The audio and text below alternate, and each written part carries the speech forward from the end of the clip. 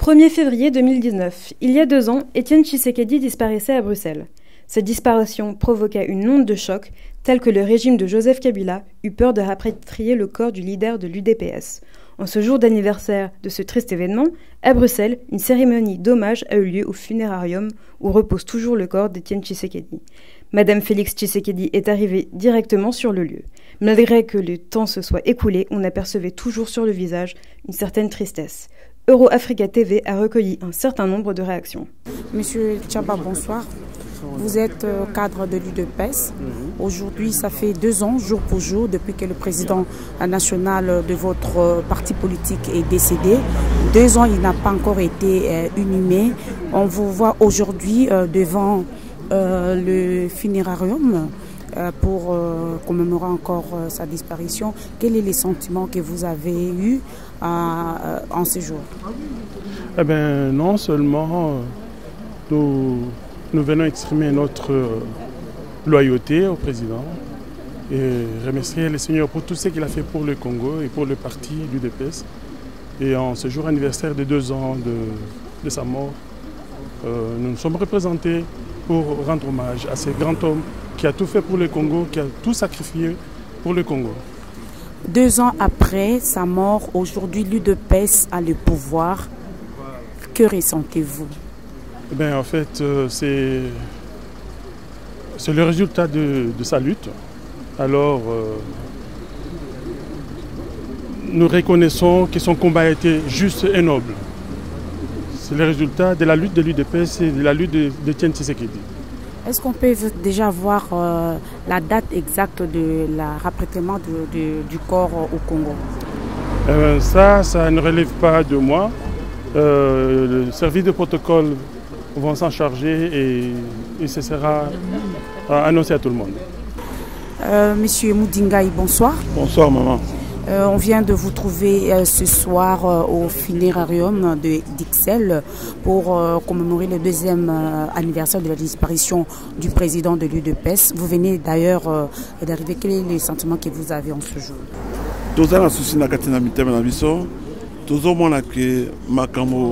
Etelemaki donc maintenant là euh, tokomi komibongisa mpo na kozongisa corps na papa na mboka sentiment nini oza nango deux ans ya disparition na ye lelo udps eza na pouvoir.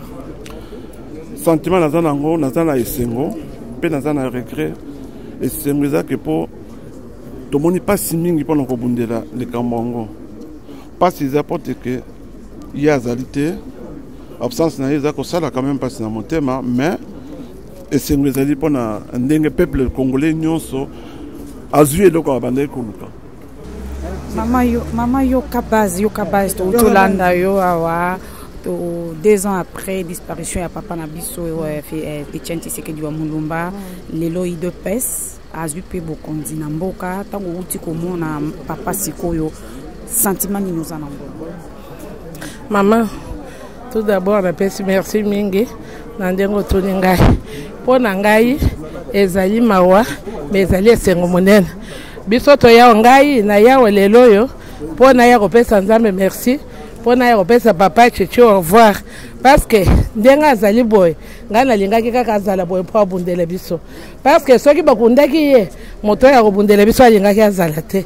Omoni tobungi na manduki te tobungi na makila te me tozwi victoire. Yango wana na ye awa. Monsieur kasongo bonsoir. Bonsoir. Euh, quel est le sentiment que vous, vous avez aujourd'hui, deux ans après la disparition euh, du président de l'UDPS, deux ans après l'UDPS a le pouvoir au Congo, par rapport au combat de votre leader? À la fois une renaissance et euh, un espoir. Nous pensons qu'il est en train de renaître au Congo en ce moment, que son fils a pris le pouvoir. Donc, euh, ça ne peut être que fructueux, une coïncidence heureuse. La fin de la dictature et le début de la démocratie, incarné par son fils. Donc, ça ne peut pas être médiocre. Ça ne peut être qu'une euh, occasion assez heureuse de retrouver le fils de celui qui a commencé la démocratie au pays. Donc aujourd'hui, ce n'est pas euh, un sentiment de tristesse. Aujourd'hui, c'est la joie d'un travail accompli. C'est la joie, comme vous le dites. On a eu le temps de pleurer. On a eu le temps de, gémir. On a eu le temps de, manifester tout ce qu'on avait comme euh, euh, désespoir. Et aujourd'hui, je pense que le peuple congolais est en train de vivre le début de la démocratie. Vous n'avez qu'à voir ce qui se passe déjà au pays en ce moment qu'il a pris le pouvoir, que son fils a pris le pouvoir, donc un autre Tshisekedi, euh, c'est tout, simplement la joie. Merci beaucoup, monsieur Kassi. Colonel Bretok, bonsoir. Bonsoir, maman. Oui, aujourd'hui, deux ans, euh, jour pour jour, après la disparition euh, de votre leader, le président national de l'UDPS, euh, Etienne Tshisekedi Wamulumba. Des ans se sont passés. Aujourd'hui, quel est le sentiment que vous avez deux ans après, vous avez le, pouvoir au Congo? Bon, d'abord, je peux dire euh, autre sentiment d'abord. Ce monsieur qu'on vient de participer dans ce funérarium, c'est un grand homme et tout qui a fait vraiment, euh, je peux dire depuis 36 ans de combat. Et voilà, aujourd'hui, on a eu quand même le pouvoir. Donc vraiment personnellement, mon sentiment, je peux dire, je suis trop ému. Malheureusement, maintenant, on peut, on peut enterrer le président en paix et tout. Merci beaucoup. Deux ans après la disparition du président national de l'UDPS, euh, deux ans, il y a l'UDPS aujourd'hui a le pouvoir. Ça fait euh, une semaine que le président Tshisekedi vient de se prêter serment. Quelle est euh, la lecture que, que, vous faites par rapport à ces événements et au combat de votre leader? On peut dire que c'est un motif de satisfaction? Nous sommes plus que satisfaits. IDPS disait, les leaders Etienne Tshisekedi disait, le peuple d'abord, IDPS vaincra. Il a combattu euh, les bons combats, comme on dit dans la Bible. Et la lutte a porté des fruits. Il a gagné. Il est vivant dans les cœurs. Et euh, a gagné le pouvoir. On disait qu'IDPS a vaincu, il a vaincu, il a le pouvoir parce que c'est lui-même maintenant qui est au pouvoir. Tshisekedi est mort, mais l'esprit de Tshisekedi est vivant. Nous sommes dans la joie parce que le Fils amenant le pays entre les mains. On peut dire que son âme repose en paix. Son âme repose en paix et ses œuvres le suivent. Et euh, le peuple congolais est content. Et euh, je dirais quelque chose que je n'ai pas pu dire. Il était un pasteur, un chrétien, un homme fidèle à sa femme, fidèle à ses pensées, ses idées. Quand il disait oui, son oui était resté oui. Et lorsqu'il disait, il voyait que ça n'allait pas, il disait non. Et nous sommes fiers d'avoir eu un leader comme lui. Merci. Monsieur André Flao, bonjour. Bonjour. Vous êtes euh, ministre d'État belge. Et comme euh, la plupart des hommes politiques belges, vous avez suivi euh, les élections en République démocratique du Congo, n'est-ce pas? Je n'ai pas seulement suivi les, les, dernières élections, mais je suis un partenaire et un observateur de ce qui se passe au Congo depuis cette période-là, à l'époque où le gouvernement de M. Verhofstadt avait remis le dossier euh, congolais sur la table du gouvernement et également sur la table des conseils européens. Et comme ministre de la Défense, on a fait du partenariat, de la formation militaire, euh, et on a aussi euh, signé beaucoup de partenaires, ce qui m'a fait visiter le Congo, non pas uniquement de Njili à l'hôtel Memling, mais aller d'est en ouest, nord au sud, et c'est comme ça qu'on comprend mieux que ce pays est un pays continent en quelque sorte, et doit être compris dans sa grande diversité. Et à côté de cela, quand j'étais président de l'Assemblée parlementaire ici, nous avons aussi fait un accord de partenariat avec le Parlement euh, congolais, aussi bien la Chambre que l'Assemblée nationale.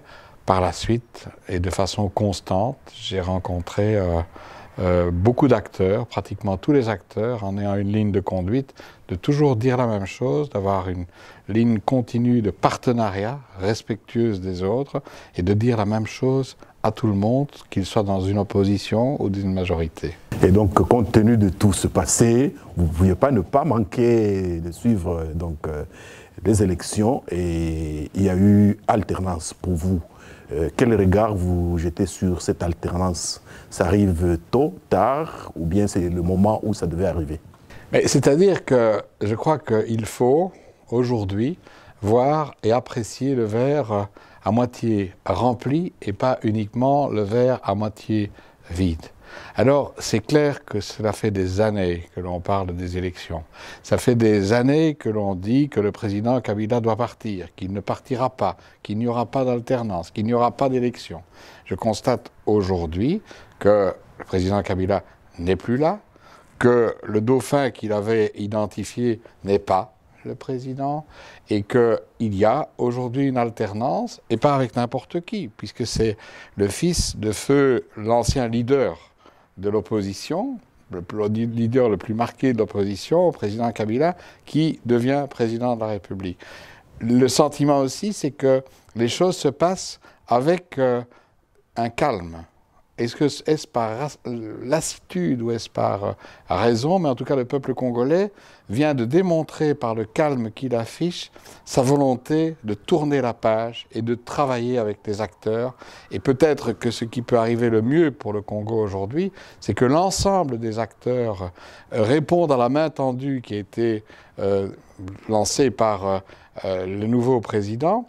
Et nous devons nous aussi comme euh, Européens, comme Belges, répondre à cette main tendue. Mais pas pour donner des leçons de néocolonialisme ou de paternalisme, simplement être aux côtés de l'ensemble du peuple congolais avec ses responsables pour cheminer dans des partenariats, je vais dire, constructifs, qui répondent avant tout aux besoins exprimés par la population congolaise et qui a d'ailleurs été aussi euh, exprimé par la diaspora. Parce que la diaspora ici en Belgique a a réagi calmement, positivement, en disant donnons une chance à ce que nous avons comme situation aujourd'hui.